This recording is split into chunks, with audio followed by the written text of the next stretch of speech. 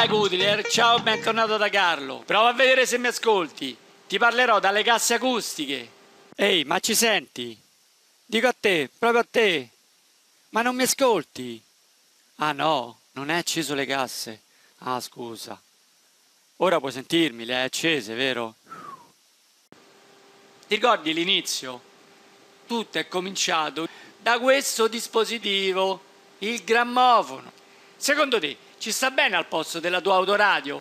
Forse un po' scomodo e soprattutto l'audio deve saltare un po' troppo. Mm, no, meglio l'autoradio, vero? Eppure, se ci pensi bene, il grammofono, da un certo punto di vista, ha caratteristiche migliori.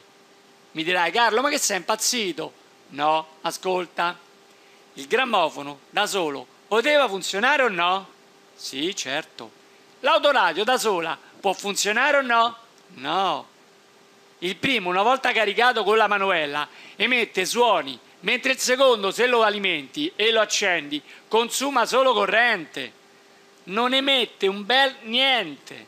Quindi al nostro prossimo PC ci collegheremo un bel grammofono. Che dire?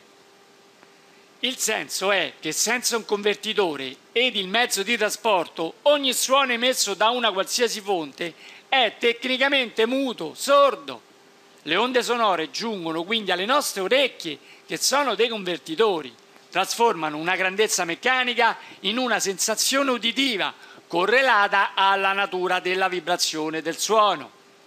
Il mezzo di trasporto è fornito dalla presenza di aria nella nostra atmosfera ed il gioco è fatto. Ma qual è il mezzo emittente?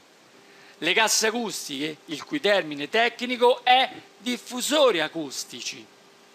Essi trasformano un segnale elettrico proveniente da un amplificatore acustico in suono udibile da un'utenza, le nostre orecchie.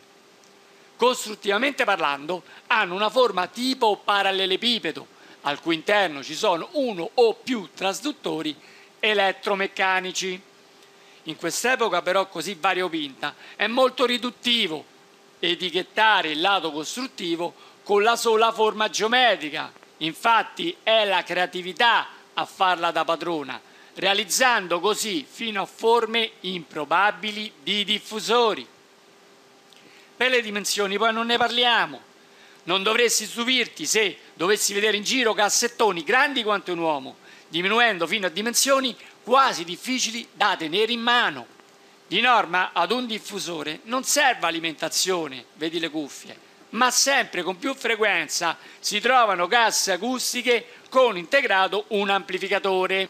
Ciò comporta naturalmente un aggravio in termini di cavi, ma si contrappone il risparmio in termini di spazio, una maggior praticità perché totalmente indipendenti e non legati al tipo di impianto, non dovendo adattare la loro potenza all'amplificatore a cui sono collegate.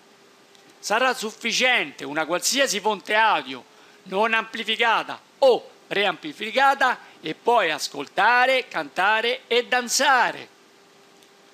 Ok, ma per il mio uso, hai ragione, le casse per PC rientrano per un utente medio proprio in quest'ultima categoria appena citata. Rimanendo sul semplice, acquisterai una coppia di diffusori stereofonici a poche decine di euro. Essi ti permetteranno di ascoltare il suono già ad un buon livello di qualità. Avranno la necessità di una fonte di alimentazione e su una delle casse troverai anche l'interruttore per l'accensione e la manopola di regolazione del volume.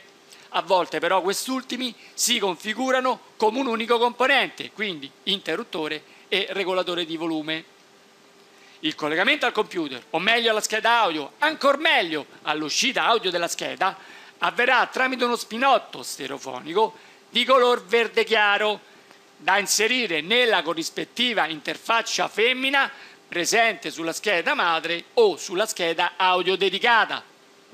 Altro possibile collegamento potrà avvenire utilizzando la tecnologia senza fili, ma non è esente da disturbi e poi manteniamoci sul semplice. Infine è giusto citare la ricorrente interfaccia USB e non dimenticarti delle cuffie. Dal punto di vista della qualità audio, come ti accennavo nella lezione 12, parlando della scheda omonima, ricorda che un PC domestico non lo potrai comparare ad uno strumento musicale e comunque per avvicinarti a certi livelli di qualità la spesa comincia a diventare importante.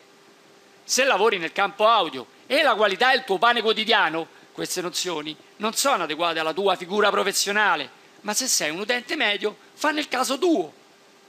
I driver, non ti preoccupare, stavolta non te ne parlo, a meno che non compri i diffusori USB, altrimenti nella prossima lezione conoscerai un dispositivo di acquisizione, lo scanner. Adesso un forte saluto, ciao a presto da Carlo e alla prossima. Thank you.